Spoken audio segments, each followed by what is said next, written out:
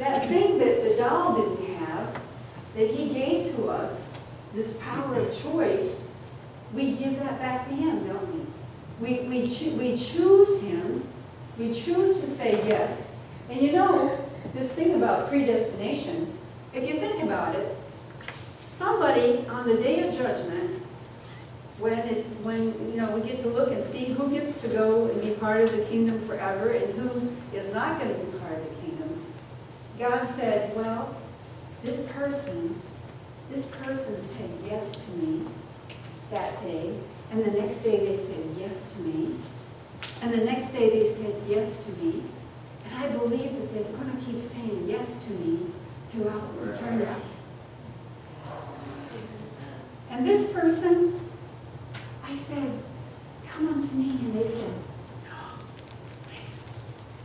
And then I said, come unto me, and they said, no, later. And I said, come and serve me, and they said, no, later. And I believe that for the rest of eternity, they're just gonna keep saying, no, later. They didn't become robots. He didn't like zap them at the, at the re- resurrection and now we just, now we're back to being dolls. We gotta do whatever God says. No. He just says, they keep saying yes to me and I just keep believing they're gonna say yes. If we don't say yes, we don't get to go. Because we would be upset. We'd be always saying no. It to me is so simple. So very simple. So in the third phrase, the third stage, the part that we have to live in today, it matters to know that what he did was for everybody. It makes us understand how great is his love. And it matters to know that we're not the one that's trying to, you know, oh, please, uh, you know, make, I hope that what I'm doing is good enough for you. It, it matters to know that. It matters to know that we get to say yes. And as we go through this, this and accepting this gift and experiencing the new birth, let's not get confused. What he planned in the past looks a lot like Calvinism. But the difference is, in other words, it looks like predestination. But the difference is it was for everybody. It looks a lot like when he did the realization, when he walked among us and he accomplished that fact.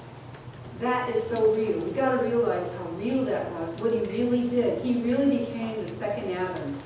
He really did take away the sin, he really accomplished that the sinful nature that we have inherited from Adam can be crucified, was crucified in him, and that we can believe what the Bible says about our, our ability to be dead to sin and alive to God. We can reckon ourselves dead to sin. We can reckon ourselves raised up with, with the Lord Jesus. That's the stuff we have to believe. And so as we experience that, um, this is going to be repetitious. We're going to, we're going to cut to the chase. As we experience that, we need to remember that God had this plan from the foundation of the world to send his son to be um, crucified on the cross for us.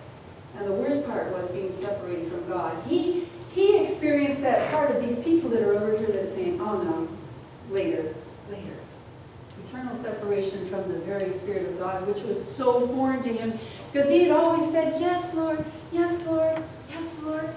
Every day, every moment of his breath was yes to his Father. This part, just as he chose us in him before the foundation of the world, that we should be holy and without blame before him in love. You're one of God's chosen ones. The nice part is you can't meet anybody who wasn't, isn't one of God's chosen ones. How do you like that? How do you like those apples? Remember that when you're talking to people. They might be the most contrary people you've ever met, but they're one of God's chosen ones. He did this for them. You're not going to meet anybody that he didn't do this for. So let's let's remember that when we're with people. God's brought us into reunion with Christ Jesus. And by him we are put right with God. We become God's holy people and we're set free.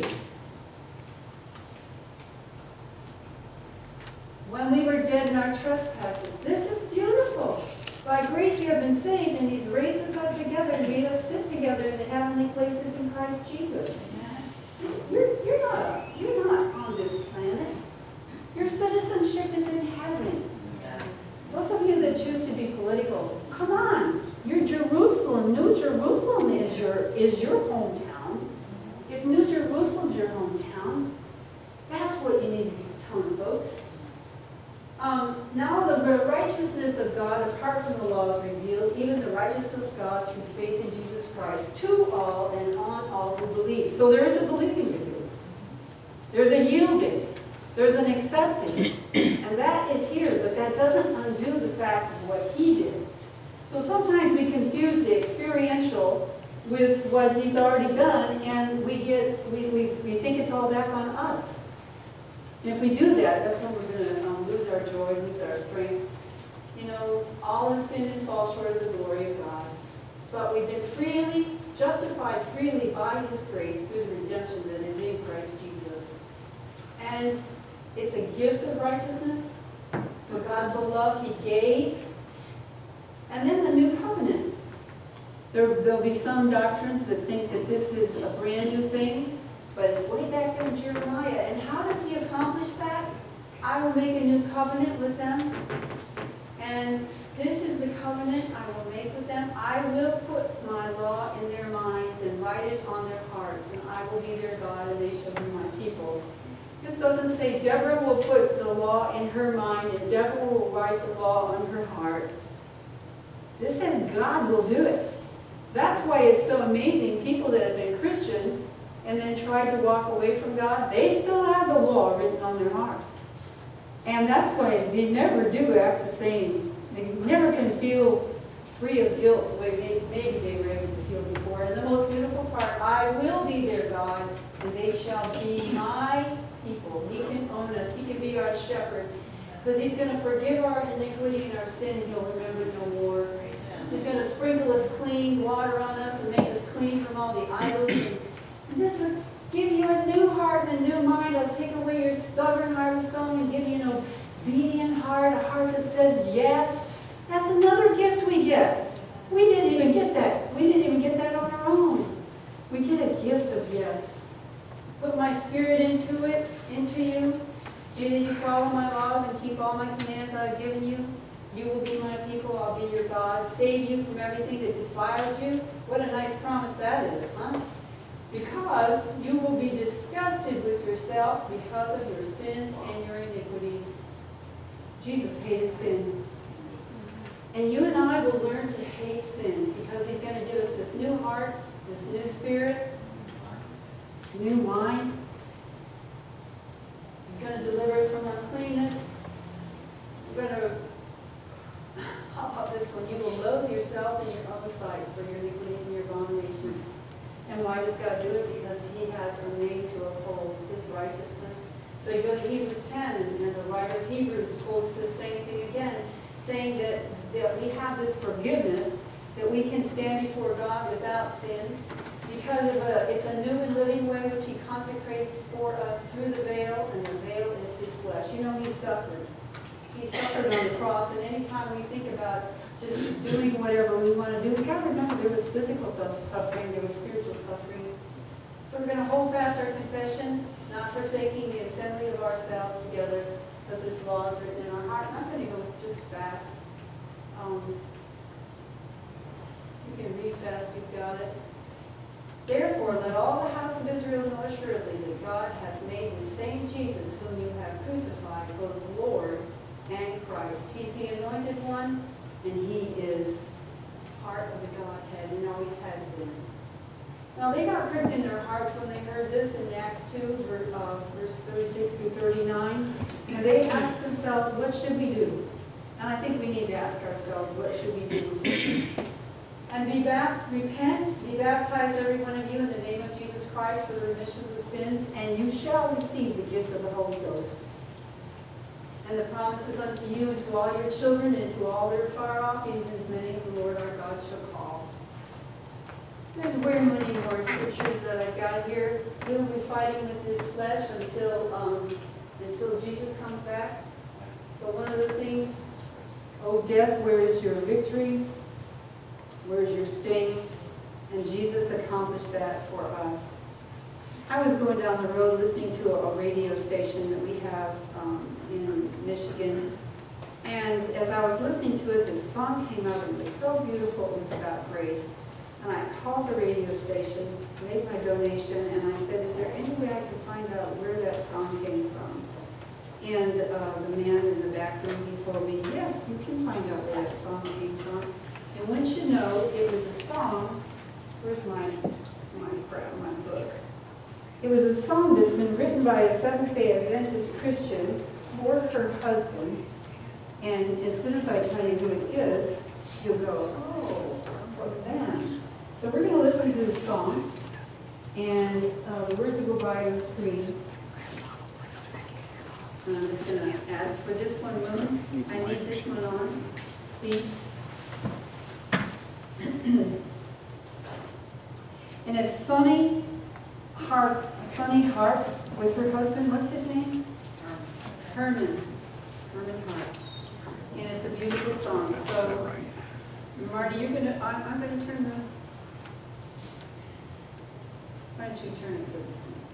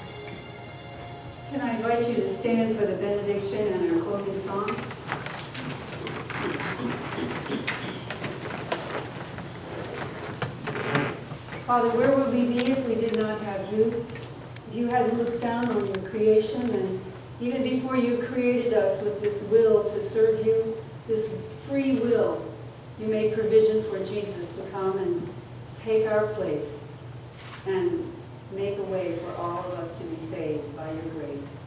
May we give our hearts to you, Lord, and never forget to say yes, for that's what you're calling us to do, that we might one day walk like Enoch into eternity, Father, with you. In Jesus' name we pray. Amen. Amen. Our closing